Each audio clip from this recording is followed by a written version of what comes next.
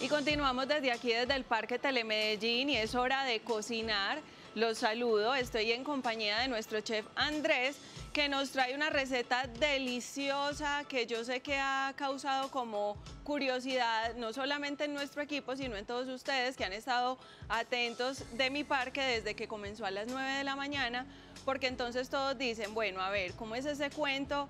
De que esa carne se puede hacer. Es más, había alguien que juraba que la carne tenía hueso, por Dios, entonces bueno, mejor dicho, ha sido un cuento. Andrés, bienvenido y qué rico que estés aquí para compartir con nosotros esa receta. Hola, muy buenos días, ¿cómo están todos? Eh, el día de hoy venimos a compartir una receta que es de las más especiales en nuestro bolero bar. Es una de las recetas principales que tenemos en la nueva carta de comidas y es una espaldilla que tenemos el tabú de que es muy dura, de que hay que pitarla, de que lleva mucha cocción, cuando realmente es el proceso que le hacemos con el entretejido que tiene. Y la traemos acompañadita de vegetales frescos y salsas. Bueno, entonces vamos a ver todos esos ingredientes que necesitamos para que tomen nota y sobre todo los invitamos a que estén muy conectados con todo el proceso porque el truco de la carne está en eso, en un procesito que tiene. Entonces vamos a necesitar 500 gramos de punta de espaldilla, 6 papas corosas, 100 gramos de mayonesa, 5 gramos de sriracha u otro picante a su gusto, 50 gramos de cebolla morada, espárragos, pimientos babies y 500 eh, mililitros de vinagre. Además vamos a salpimentar y a necesitar aceite de oliva. Para el chimichurri vamos a necesitar 100 gramos de perejil liso o crespo, 30 gramos de cebolla blanca, 50 mililitros de aceite de, girasol y cuatro uchuvas opcionales.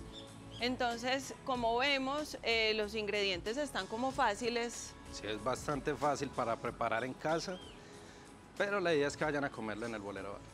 Esa es la idea. Hablemos entonces de la punta de espaldilla, que normalmente la gente la utiliza, como bien decías, de pronto, no sé, como en, en carnes para sudados, sancocho. Exactamente lo acostumbran a pitarla ya que le queda mucho más blandita, solamente que ella trae un, tendoncito que es muy importante quitarlo. Bueno, entonces enséñanos a quitarlo para que vamos comenzando con la receta. Claro que sí. Por acá trajimos una parte, esto es punta de espaldilla. Esta es... Y se pide ya porcionada o puedes pedirla entera o porcionada. Ella es un corte así larguito, viene abierto. Por lo general se corta y se pone en olla a presión. Este es el entretejido que nosotros debemos de ir sacando, que es el que nos va a recoger la carne. Realmente traje la carne un poco ya más limpia. Adelantada. Así es. Pero acá podemos ver un poco del entretejido que ella trae. O sea que eso es como el ñerbito que nosotros llamamos, que viene como recubriendo toda la capa, que no precisamente es grasa, sino que es como, sí, como una fibra del músculo. Exactamente, entonces cuando se calienta lo que hace es recogerla. Y si no la quito, me recoge la carne así y me queda dura. claro, ahí es cuando decimos que, se encogió mucho, mucho la carne. Exactamente. Y, qué rabia, pues, porque también entonces eh, podemos utilizar ese proceso siempre. Exacto. Y esos son otros, con otros cortes de carne, como lo es la chata, ese hay que generarle también en el, en, el hierbo unos cortecitos para que no se nos cierre. Listo. ¿Te ayudo subiéndole la temperatura? Sí, por favor. ¿A todos dos? Sí. En uno vamos a preparar los vegetales y en el otro la carne.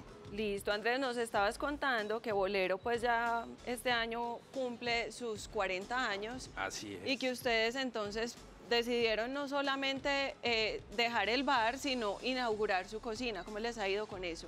Bien, estamos muy contentos. El Bolero Bar este año cumple ya sus 40 años, pero este es el primer año con restaurante. Eh, es un lugar que se enfoca a la, a la música bolero, entonces, por lo tanto, por sus raíces, nos trajimos un poco de la comida cubana. Entonces tenemos una carta entre cubana, colombiana. Perdón. Ahí estás verificando. sí, verificando que... esté caliente porque si no necesitamos sellar. Listo. La carne se nos selle y no que se nos desjugue. Si está bajito va a empezar a soltar sus jugos y nos queda una carne seca. Y eso es importante, ya lo hemos mencionado en varias preparaciones, que siempre, siempre es importante tener esas sartenes con buen calor. Aquí vemos que estas sartenes no tienen recubrimiento de pronto de, de teflón ni nada. No, son totalmente acero inoxidable y es muy bueno porque el teflón te suelta ciertos, ciertos elementos que cambian un poquito el sabor de la comida, en especial lo que es líquidos. Entonces vamos a ir poniendo, se me preocupa, se puede subir un poquito más. Eh, está en el tope de la temperatura. Listo. Entonces vamos a trabajar así también. Listo. Bueno, nos estabas contando de bolero, de la música que hay en bolero. Claro que sí, les cuento. Bolero. Entonces, hace un mes abrimos restaurante, estamos muy contentos con la acogida que hemos tenido de parte de los clientes, eh, en especial porque no en todos lados se vende comida cubana y además de que queremos darle espacio a nuestra comida colombiana. Eso es bien importante también. Este es uno de nuestros platos más importantes, la espaldilla. Tenemos también uno que es el ajiaco cubano. El ajiaco cubano. No sabía que había ajiaco cubano. Y- Pensé que era santafereño el único No, que había. Y tiene algo bien particular y es que es como un sancocho. Y se parece a nuestro ajiaco. No se parece a nuestro sancocho. Ah, se parece más al Y sancocho. de hecho el ajiaco originalmente es una base de... Acá vamos a preparar el chimichurri. Listo. ¿bueno? El, el ajiaco es una base de maíz y ají, por eso es el nombre de ajiaco. Pero se ha ido cambiando y acá tenemos el santafereño. El santafereño ya es con pollo, es Con con, de guasca. con crema de leche, totalmente salido de contexto como es originalmente. Bueno, entonces aquí, Andrés, yo vi que pusiste la carne, no le echaste todavía sal ni pimienta o me perdí ese... Yo ya la traía condimentada entre sal, pimienta, la tenía metida en cerveza pues para evitar un poco lo del tiempo. Ah, nos estabas haciendo trampa y te estabas guardando esa información. Les en- ¿Cuánto tiempo tuviste ahí como marinando en cervecita? Y... La cerveza, en cerveza desde anoche. Desde ayer en la noche la tengo en cerveza. En refrigeración, en cervecita. Sí, en cerveza con romero y ajo. Listo. Pero eso ya es de pronto por gustos personales, si deseas agregarle dentro de la cerveza tomillo, laurel, algún otro. Y el momento para quitarle como ese, esa capita que estábamos hablando, el hierbito, es antes de meterla a marinar. Pues o- yo les recomiendo, si quieren cuando compren, le dicen a la misma persona que se las va a despachar que si les quita ese Ah, tejido. mucho más fácil. Y le evita uno porque no siempre en casa tenemos cuchillos con buen filo o no tenemos el cuchillo indicado para eso. Entonces con eso pues nos evitamos un trabajo y desde allá nos pueden ayudar. Listo, yo vi que entonces en la otra sartén metiste unas papitas que tenemos precocidas. Unas papitas precocidas, espárragos, ¿El y está pimientos crudo? baby. Sí, Y los pimientos también están crudos, ¿cierto? sí. Lo que necesitamos es darle una sellada a los espárragos porque son mucho más rico al dente. Los espárragos son muy ricos, pero yo he visto que últimamente están como escasos. No sé si en esta temporada ya los podemos encontrar como más disponibles, pero sí hay como épocas en que escasean. Así es, pues realmente es porque el espárrago es complicado que se nos dé acá. El espárrago es un vegetal que se acostumbra a dar en zonas costeras y aparte de ser zona costera, que sea zona fría. Y nosotros es tenemos rico en zonas- vitamina C. Para los que les gusta cuidarse mucho con la comida, recomendados porque es gran fuente de vitamina C. Acá Listo. entonces tenemos eh, Cebolla, cebolla blanca, y perejil picado. finamente picado. Finamente picado. Listo. Con aceite de girasol. El aceite de oliva para el chimichurri no va, puesto que tiene mucha fuerza. Entonces se pierde totalmente Como el un, sabor. un aceite de sabor más neutro. Sí, entonces el aceite de girasol va perfecto. Listo. Por este lado tenemos A ver, yo estos. te ayudo mezclando Gracias. esto. Y este chimichurri, pues obviamente si nos sobra, lo podemos conservar en la nevera por mucho tiempo. El aceite es un conservante muy bueno. Y entre más tiempo, más rico va a saber el chimichurri. Uy, qué rico. Al paso de los días, más se madura, más se conserva. Andrés, contanos dónde está ubicado Bolero. Claro que sí, estamos ubicados en la carrera 67B, número 51 a 98. Eso es a uno de los lados de la Universidad Luis Amigo. Listo. Entonces, como por el estadio, como por ese sector, yo creo que mucha gente ya lo tiene referenciado, pues 40 años ya de trayectoria. Así es. Lo que no sabían es que están inaugurando esta carta deliciosa de comida. Sí, así es. ¿A qué horas podemos ir a comer? Desde las 12 del mediodía, de martes a domingo. Estamos allá disponibles para ustedes.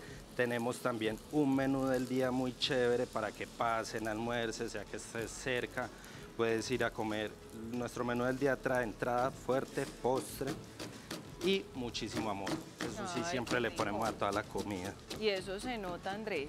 Bueno, y la gente que esté más animada, entonces ya hasta las 8 de la noche es el, restaurante. Y, y de ahí para adelante se quedan en el bar, que tiene una experiencia muy bonita, con música, con una decoración pues que han tratado de conservar a lo largo del tiempo. Así Entonces, muy, muy bacano. Es bien chévere, tenemos música en vivo todos los viernes, todos los sábados. Uy, qué rico.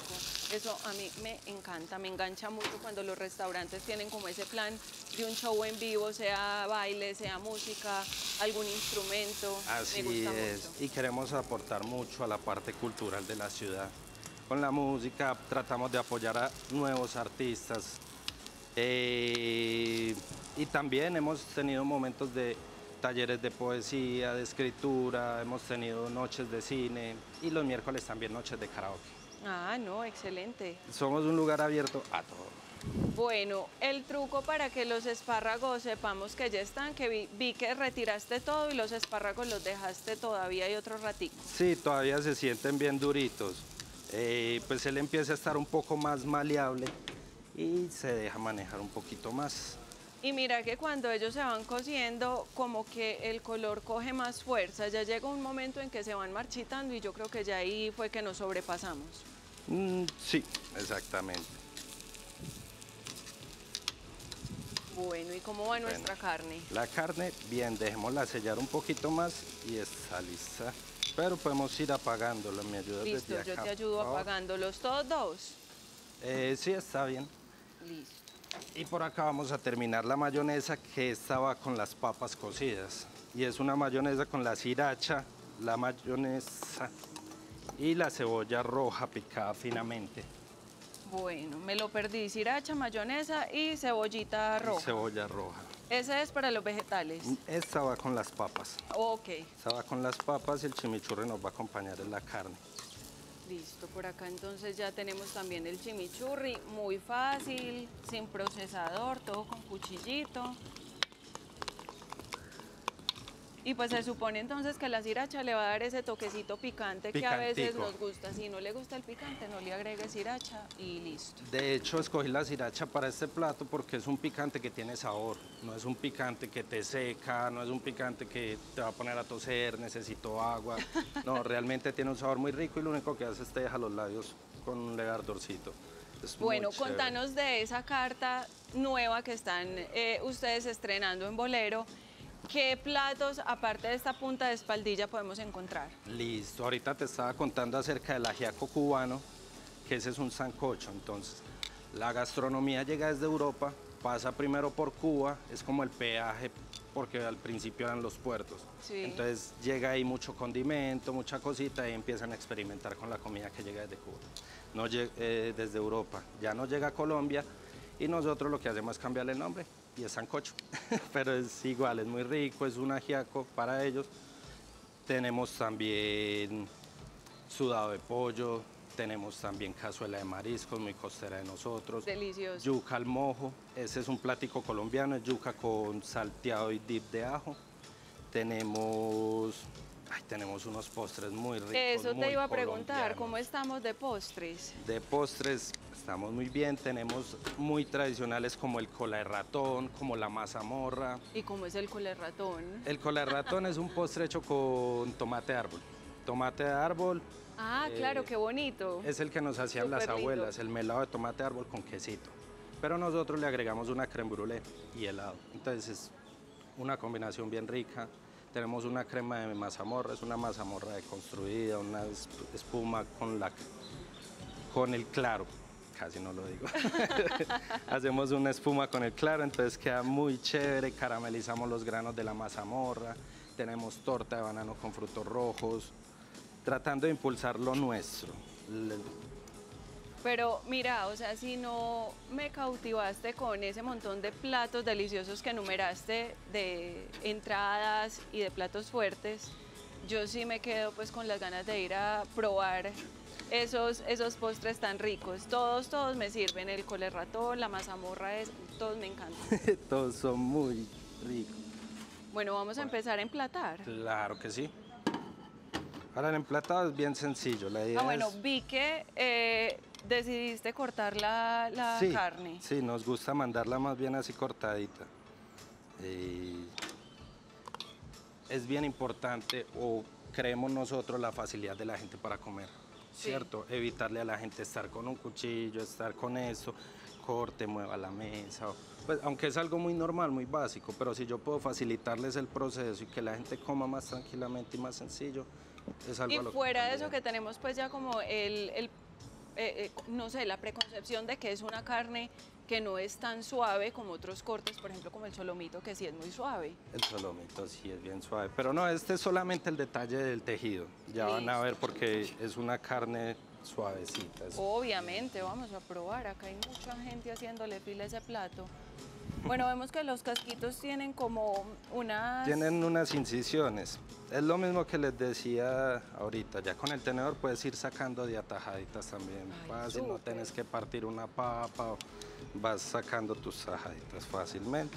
Bueno, y la forma en que también los chefs profesionales como tú en plata nos gusta porque a veces en la casa hacemos platos muy ricos pero como que no somos expertos en ponerlo bien bonito y eso también nos gusta, eso es importante. Sí, eso es una... Creo, creo que lo que más me gusta de la parte de la cocina. Y mira, por ejemplo, que lo que hacemos normalmente es ponerle el chimichurri encima a la carne. Vos acá pusiste una camita en el plato de chimichurri y encima la carne. Así es porque no tapo la carne y me gusta ver la carne ahí bien bonita. Ah, y coronamos con esos espárragos. Coronamos con esparraguitos. Y así es nuestro plato, nuestra espaldilla del bolero. No, pero súper fácil. Pensé que iba a tener mucha complicación por la mala fama que tiene la punta de espaldilla, pero me encanta.